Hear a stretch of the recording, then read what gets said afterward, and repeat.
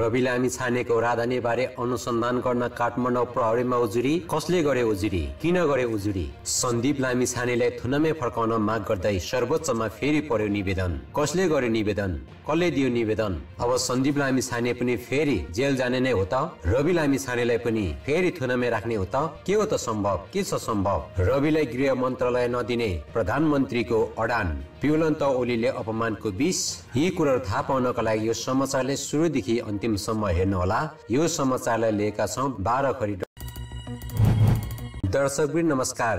रवि लामी छानेको बारे अनुसन्धान गर्न काठमाडौँ प्रहरीमा उजुरी परेको छ। कसले गर्यो त उजुरी? किन दिए त उजुरी? राष्ट्रिय स्वतन्त्र पार्टीका सभापति रवि लामी छानेको बारे अनुसन्धान गर्न जिल्ला प्रहरी परिसर काठमाडौँमा उजुरी परेको छ। सुन्दिलुका युवराज पौडेल सफलले मंगलबार काठमाडौँ प्रहरी प्रमुख एसएसपी दान बहादुर कार्कीलाई भेटेर उजुरी दिएका हुन्। खारेज भएको नागरिकताका आधारमा राजधानी लिएको भन्दै लामी छानेलाई राजधानी ऐन अनुसार कारवाही गर्न पौडेलले माग गरेका छन् तर प्रहरीले उनको जाहेरी दर्ता गरेको छैन। नागरिकता सम्बन्धी विवादमा सर्वोच्च अदालतले गरेको फैसलाको पूर्ण पाठ नआएको हुनाले जाहेरी दर्ता नगरेको काठमाडौँका एसएसपी दानबहादुर कार्कीले बताए। पौडेलले अध्यागमन विभागमा पनि उजुरी दिएका छन्। लामी छानेले दुई हजार सत्तरी साल सन् दुई हजार चौधमा अमेरिकी नागरिकता लिएपछि उनको नागरिकता कानुन अनुसार निष्क्रिय भएको थियो। दुई हजार पचहत्तरमा अमेरिकी नागरिकता त्याग्ने प्रयोजनका लागि नेपाल स्थित अमेरिकी दूतावासमा निवेदन दिएर उनले पुरानो नागरिकता आफू खुसी चलाएको थिए। सर्वोच्चको फैसला अनुसार उनले फेरि नागरिकता लिए तर उनको पासपोर्ट सम्बन्धी विवाद टुङ्गो लागेको छैन।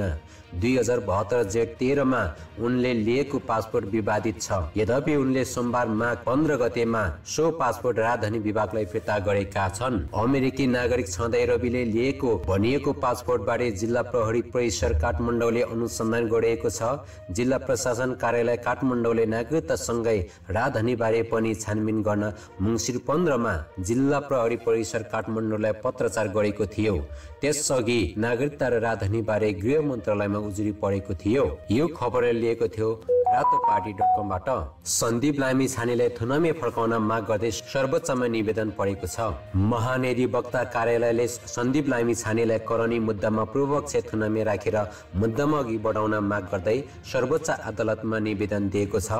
मङ्गलबार न्यायाधीश वक्ता कार्यालय पुस अठाइस गते उच्च अदालत पाटनबाट जारी भएको थुनछेक आदेश विरुद्ध सर्वोच्चमा भएको हो। उच्च अदालतका न्यायाधीश ध्रुवराज नन्द र रमेश ढकालको संयुक्त इजलासले लामी छाने विरुद्ध जिल्ला अदालत काठमाडौँको आदेश उल्टाउँदै बिस लाख रुपियाँ धरौटीमा गर्न आदेश दिएको थियो। उक्त आदेश त्रुटिपूर्ण रहेको दावी गर्दै सरकारी वकिल सर्वोच्च भएको हो। महानिधिवक्ता कार्यालयका प्रवक्ता सञ्जीव राज रेग्मीका अनुसार उच्च अदालतको आदेश दुई कारणले त्रुटिपूर्ण रहेको जिकिर निवेदनमा गरेको छ।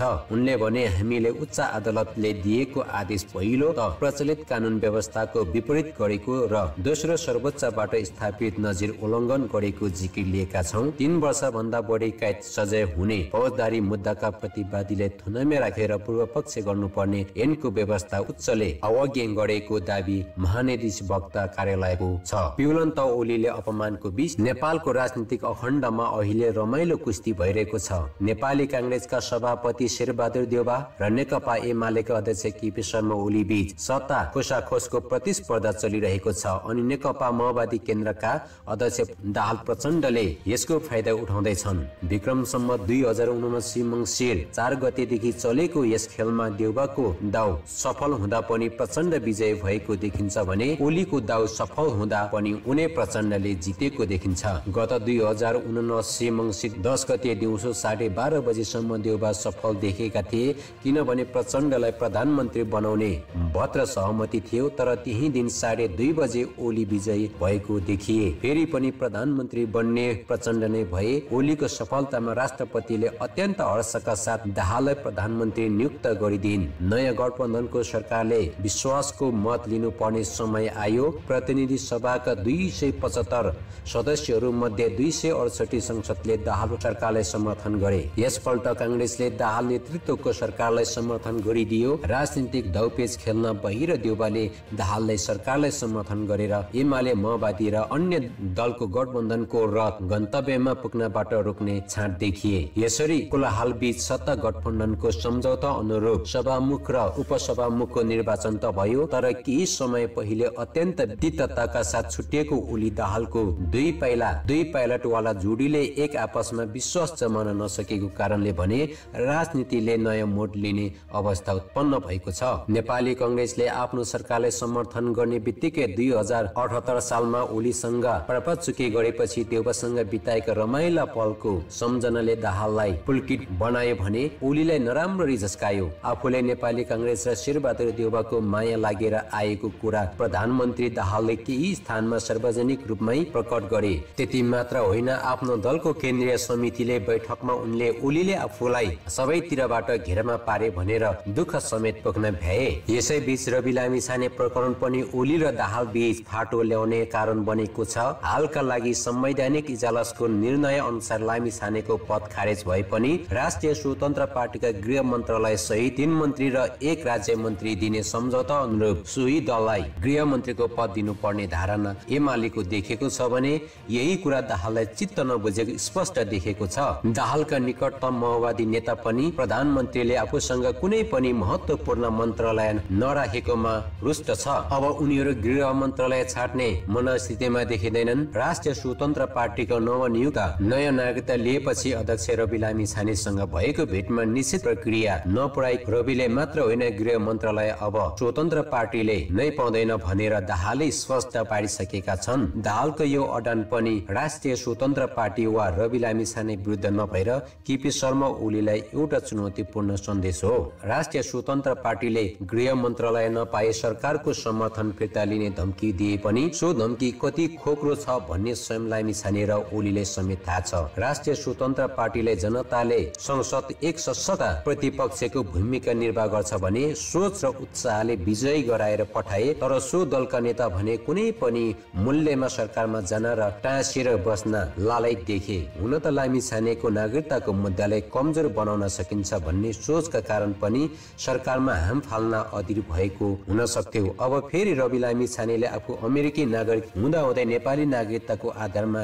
नेपाली र हादानी बनाएको मुद्दा उठ्दैछ। त्यसैले पनि राष्ट्रिय स्वतन्त्र पार्टी सरकारबाट बहिर्न नचाहने अनुमान सहजै लगाउन सकिन्छ। यो गठबन्धन भत्के दाहाल पुरानो गठ फर्के भने पनि राष्ट्रिय स्वतन्त्र पार्टी सरकारलाई समर्थन गर्न पुग्ला भन्ने अटकल सहजै गर्न सकिन्छ। परन्तु राजनीतिमा सधैँ आफूले सोचे जस्तो हुँदैन। पहिले देउबाले सोचे जस्तो भएन पछि विश्वासको मतका क्रममा ओलीले सोचे जस्तो भएन। अब राष्ट्रपति बनाउने क्रममा फेरि ओलीले चाहे जस्तो नहुने सङ्कट स्पष्ट सङ्केत देखिसकेको छ। उता राष्ट्रपति बनाइसकेपछि दाहालले चाहे जस्तो नहुने पनि सम्भावना त छ। दाहालले चाहे जस्तो नहुने भनेको राष्ट्रपति कङ्ग्रेस समर्थनको बनाए पनि यो गठ टुटाउन उनलाई गाह्रो पर्न सक्छ। तर यसका लागि केपी शर्मा ओलीले राष्ट्रिय स्वतन्त्र पार्टीले गृह नपाएको र आफ्नो उम्मेद्वार राष्ट्रपति पदमा पराजित भएको अपमानको बीच पिउने समर्थ देखाउनु पर्नेछ निर्वाचन आयोगले राष्ट्रपतिको निर्वाचन फागुन पच्चिस गते र उपराष्ट्रपतिको निर्वाचन चाहिँ तिन गते गराउने घोषणा गरिसकेको छ। फागुन पच्चिस गते एमाले समर्थित उम्मेद्वार राष्ट्रपतिको पदमा विजय भएनन् भने के एमाले सरकारले दिएको समर्थन फिर्ता लिन लिन्छन् होला त। हो यहाँनिर एमाले अध्यक्ष केपी शर्मा ओलीका कालकोट बीच पिउनु पर्ने अवस्था आउँछ।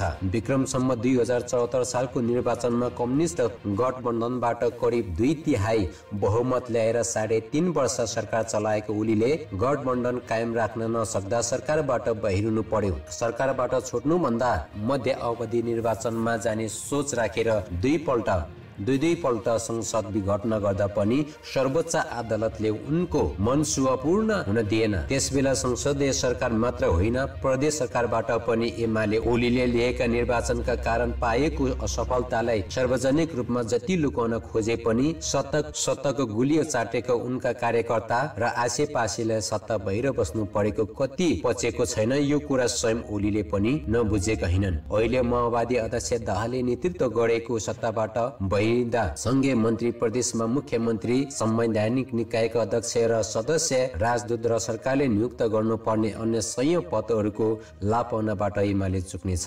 त्यसैले अहिलेको राजनीतिक परिदृश्यमा ओलीले नचाहेको व्यक्ति राष्ट्रपति बनेको खण्डमा पनि अपमानको विष निलेर यही सरकारले निरन्तर समर्थन गर्ने बाध्यता उनको देखिन्छ। त्यस्तो अवस्थामा दाहालले काङ्ग्रेसलाई अहिले राष्ट्रपतिको पद उपहारमा दिएर अलि पछि प्रणय गरौँला भनेर थामथुन गर्न सक्छन्। यद्यपि नेपाली राजनीतिमा कुन बेला कस्तो मोटाउँछ भनेर त देउबाका ज्योतिषले समेत मिलाउन सकेनन्। एउटा विश्लेषकको कति मिलाउला त्यसैले राजनीतिको नाट्यशालामा के कस्ता नाटक मञ्च हुने मञ्चन हुने हो हेर्दै जाउँला भनेर बाह्र खरी डट कममा समाचार छापिएको छ। तपाईँले भिडियो कस्तो लाग्यो तपाईँले जस्तो लाग्यो त्यस्तै कमेन्ट गर्न भन्न नबिर्सिनु होला धन्यवाद।